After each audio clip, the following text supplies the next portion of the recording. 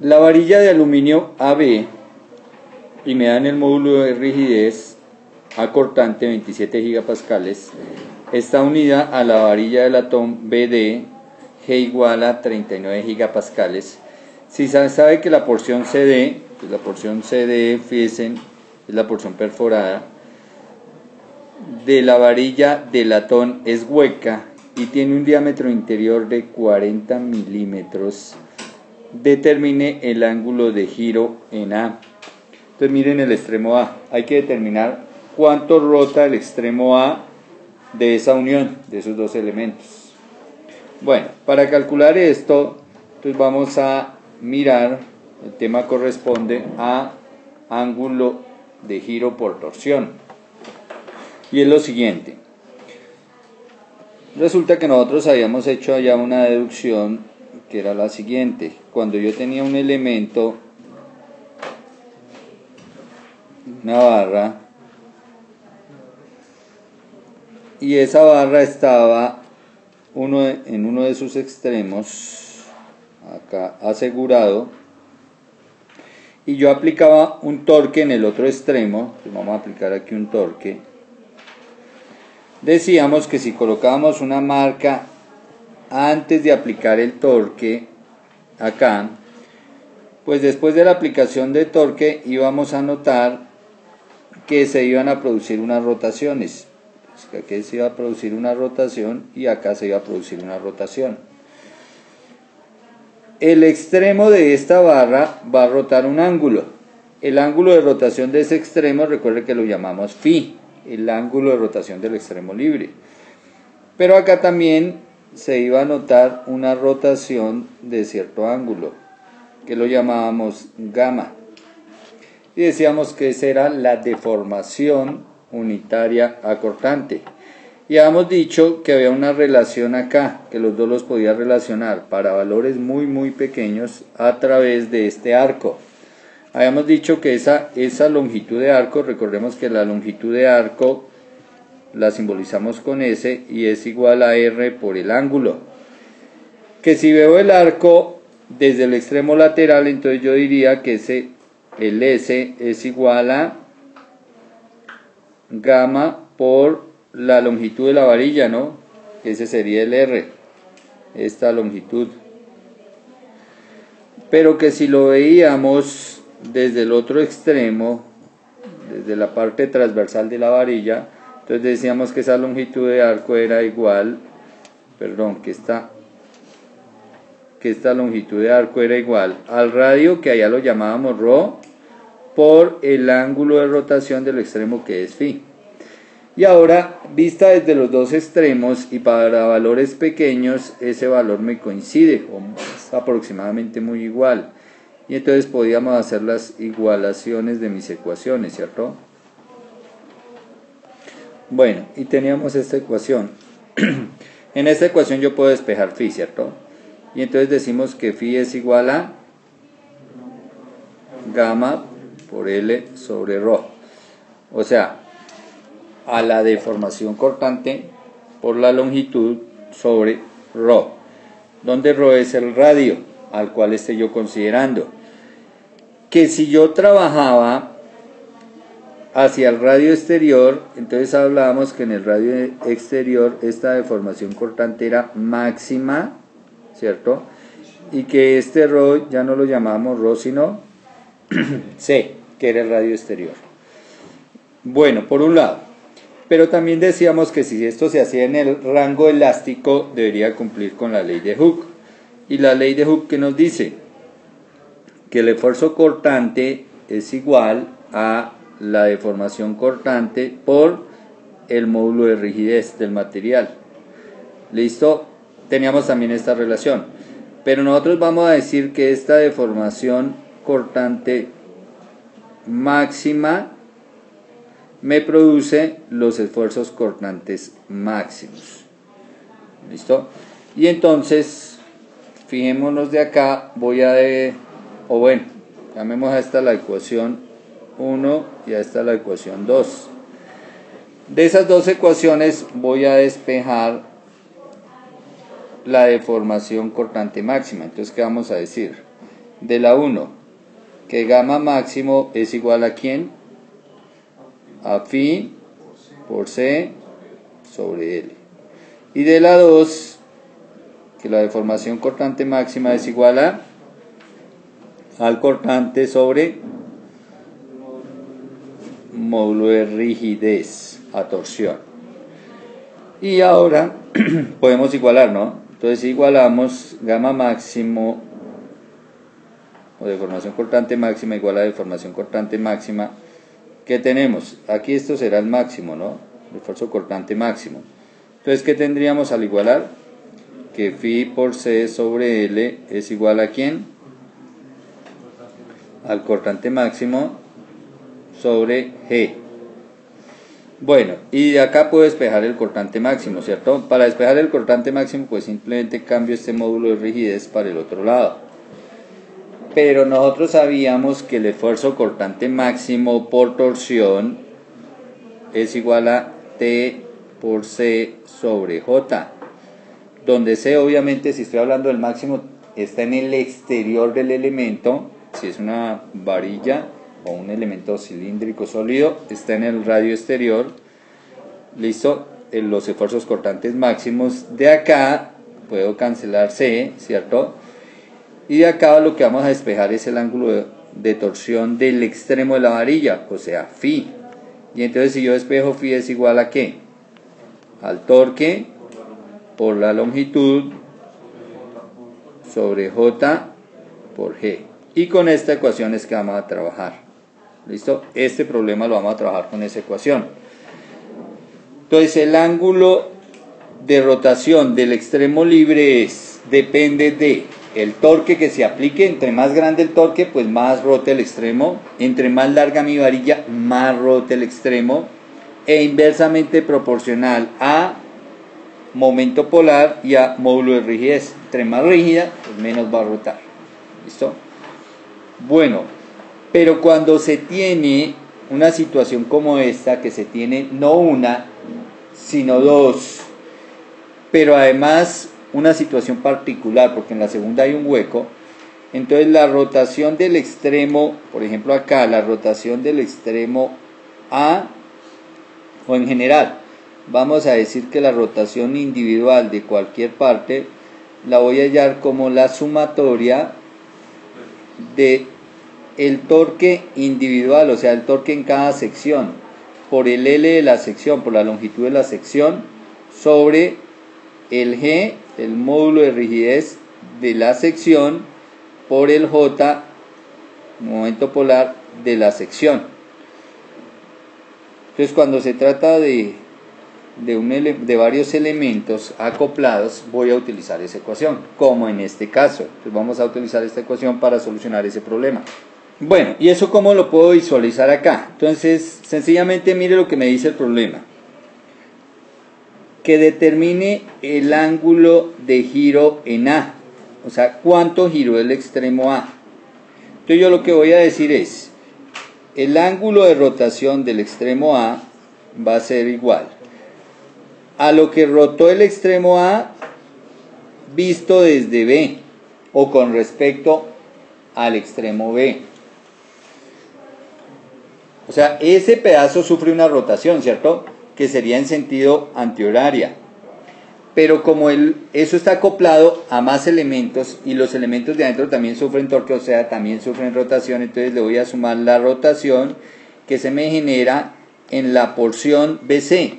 Y en la rotación de la porción BC es lo que rota B respecto de C. Pero como el otro extremo es hueco, va a permitir más rotación y entonces voy a decir más la rotación de C respecto de D. Y entonces finalmente si usted aplicara esos torques a esos elementos, a ese conjunto de elementos, fíjese cómo están los torques. Todo rotaría para el mismo lado, pero rotaría diferente cantidad y entonces la cantidad total que rota el extremo es la suma de las tres rotaciones relativas de cada parte. ¿Listo? Que eso es lo que dice esta ecuación. Bueno, y entonces hallemos, empecemos por hallar las rotaciones relativas. Recuerde, la voy a aplicar la ecuación que para hallar la rotación del extremo es torque por la longitud del elemento sobre módulo de rigidez por el J. Entonces calculemos la parte geométrica rapidito. ¿Qué necesitamos en la parte geométrica?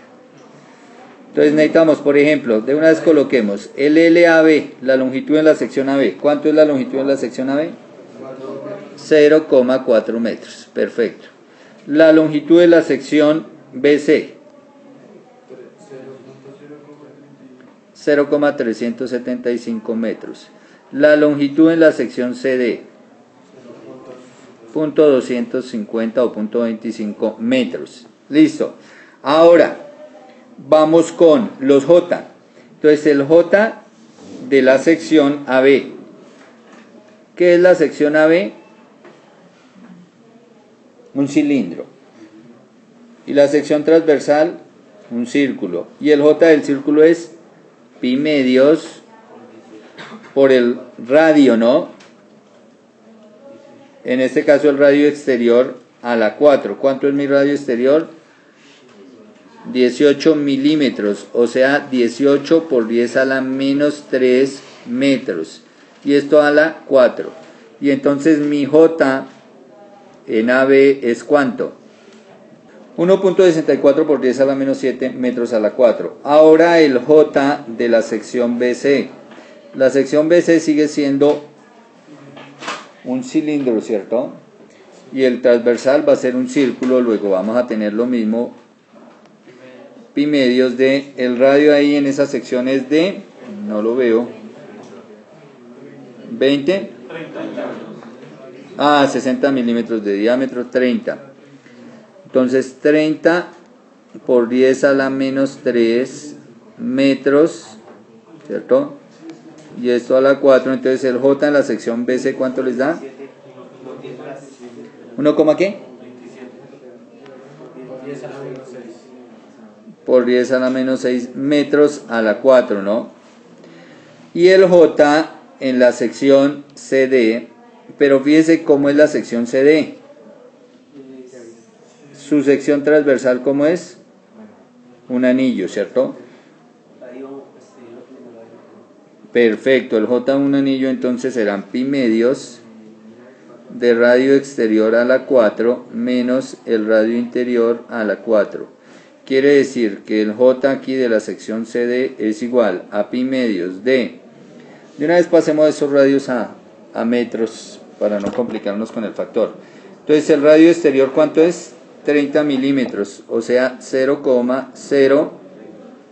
¿Otro cero? No. 0,03 metros. Bueno, esto a la 4, vamos a agregar aquí mejor un paréntesis cuadrado. Menos el interior entonces aquí nos dan en el enunciado, ¿no? Dice, si se sabe que la porción de la, es hueca de 40 milímetros, o sea 20 milímetros. Entonces aquí es 0,02 metros, esto a la 4 y ya puedo cerrar mi paréntesis cuadrado. Entonces el J en la sección CD es de 1,02 por 10 a la menos 6 metros a la 4. Listo, está toda la parte geométrica. Ahora sí ya podemos empezar a trabajar. Entonces, vamos a hallar la rotación del extremo A respecto de B. Entonces recuerden, torque de la sección. Entonces yo debo hacer un torque en la un corte en la sección AB. Voy a cortar ahí. Fíjense que si corto me quedó esta parte. Esto que estamos mostrando en rojo. O sea, una porción de varilla. Esa porción. ¿Listo? Y ahí en esa porción debo colocar el torque interno. ¿cierto? Que el elemento está haciendo torque interno para no dejarse llevar en ese sentido que se aplique el torque en A. Entonces, ¿qué hace? Un torque en este sentido. ¿Cuánto es la magnitud de T, el torque interno? Pues como solo A está el torque externo y el torque interno será de 800. Entonces aquí fácil. 800, esos son newton metro, ¿no? 800 newton metro. Entonces T, por la longitud de esa sección, entonces que ya sabemos que es 0,4, ¿cierto? Metros sobre el J de esa sección. Entonces arriba teníamos el J de AB 1,64 por 10 a la menos 7 metros a la 4 y por el G esa partecita está hecha de qué material? Ese extremo de aluminio. Y el G del aluminio son 27 gigapascales. Entonces aquí por 27, como son giga por 10 a la 9, newton sobre metro cuadrado. ¿Cierto? Bueno, ¿cuáles serán las unidades de Phi?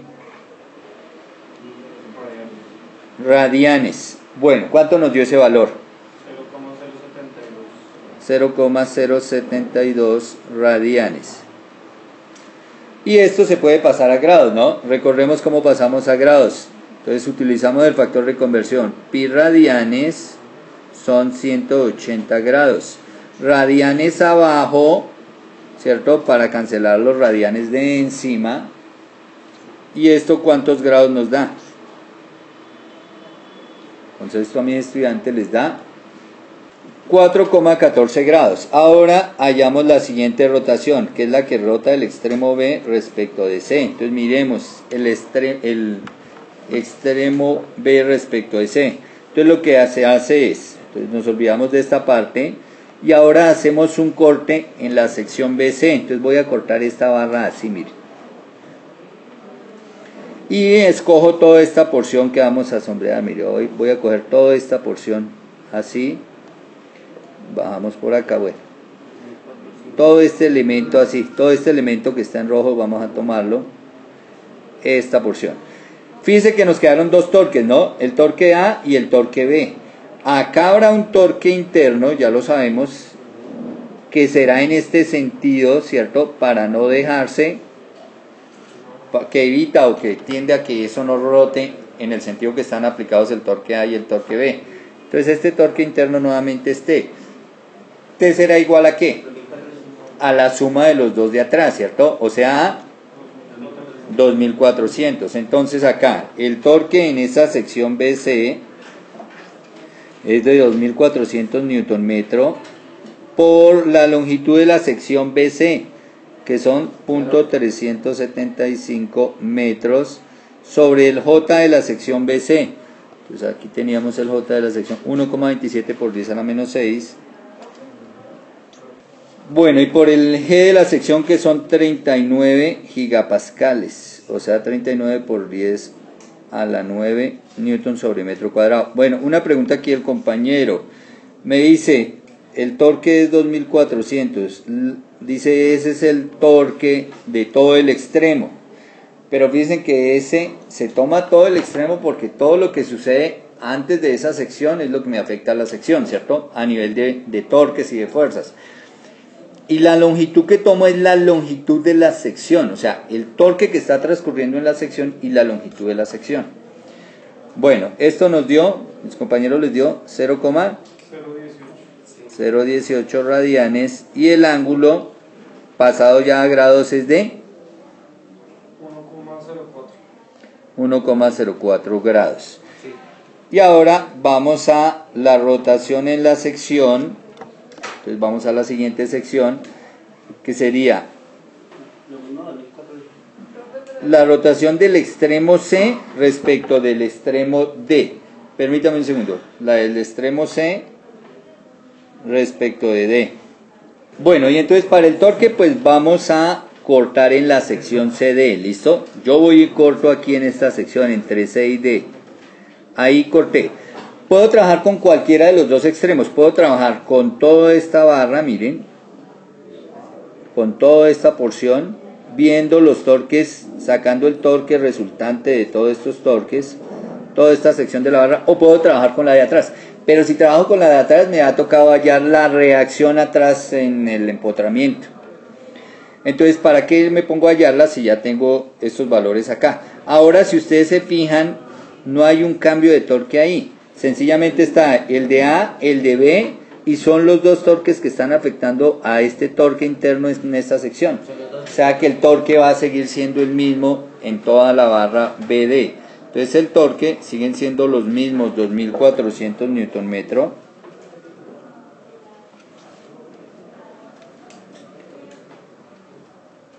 ...2400 Newton metro por el C Ojo, eh, perdón, por la longitud. Pero entonces la longitud, recuerde que es la longitud de la sección que se está evaluando. O sea, punto 25 metros, 250 milímetros. Sobre el J de la sección, ¿no? 1,02 por 10 a la menos 6 metros a la 4 y por el G de la sección que como es la, la misma barra de latón, entonces será 39 por 10 a la 9 newton sobre metro cuadrado. Listo, ¿esto cuánto nos da? 0,015 radianes que equivale a cuántos grados? 0,86 grados. Listo. Y ahora la rotación total del extremo A, pues como lo habíamos planteado arriba, sencillamente es la suma de las tres rotaciones de cada parte, de cada sección. Y entonces la rotación del extremo A es de... ¿Cuánto? 6,04 grados, ¿cierto? 6,04 grados. Listo. Y con esto queda resuelto nuestro problema. Una cosa que hay que tener en cuenta, ojo, esta rotación, estas rotaciones que están puestas acá, la sumo, pero es la suma algebraica. Como los torques iban en la misma dirección, pues fíjese que tiende a rotar el elemento todo en la misma dirección, que en este caso es sentido antihorario, ¿cierto? Pero si hubiera uno que me la tiende a hacer al otro lado, entonces como si me devolviera la rotación. Entonces allá no sumaría, sino restaría. Entonces es la suma algebraica. Bueno, y con esto queda finalizado nuestro ejercicio.